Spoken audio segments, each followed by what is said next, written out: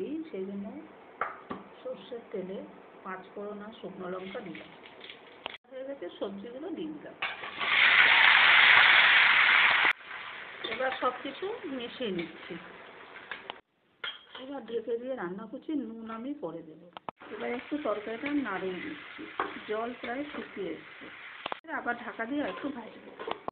নুন, হলুদ কিছু দিইনি, আমার সবজিগুলো বেশ নরম হয়ে সুন্দর ভাজা ভাজা হয়ে গেছে। এর মধ্যে এই ডাটাগুলো দিয়ে দেবো সব। মিশিয়ে নিচ্ছি।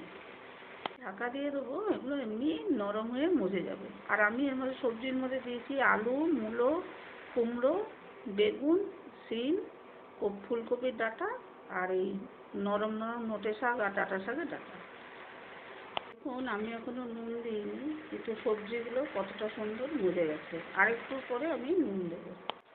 নুন দিচ্ছি, হলুদ।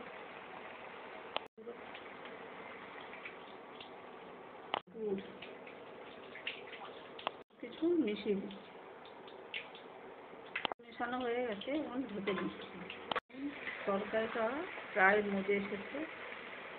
আমি কিন্তু এর মধ্যে শুধু পাঁচ ফোড়ন, রাঁধুনি মেশানো পাঁচ ফোড়ন, আর শুকনো লঙ্কা, আর নুন, হলুদ, লঙ্কার গুঁড়ো, আর একটু গুড়। এছাড়া কিন্তু আমি আর কোনো মশলা এখন পর্যন্ত দিইনি। প্রায় হয়ে এসছে, আর একটু নুন দিচ্ছি।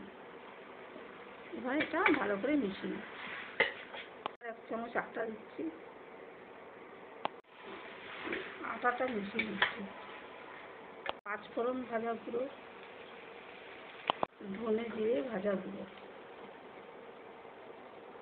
ভাজা পাঁচফোড়ন আর ভাজা ধনে জিরে এগুলো একসাথে মিশিয়ে নিই। ধনে জিরে শুকনো লঙ্কা ভাজা গুঁড়ো এবারে সব কিছু মিশিয়ে নিচ্ছি। শেষে ছড়িয়ে দিচ্ছি একটু কাঁচা সর্ষের তেল। সর্ষের তেল ছড়িয়ে দিলাম শেষে। সর্ষের তেলটা ভালো করে মিশিয়ে নিচ্ছি। আমার পাঁচ মিশালি সবজি তৈরি হয়ে গেল। পাঁচ মিশালি নিরামিষ তরকারি হয়ে গেছে। আমি এটা এবার পরিবেশন নিরামিষ পাঁচমিশালি তরকারি। পাঁচমিশালি তরকারি।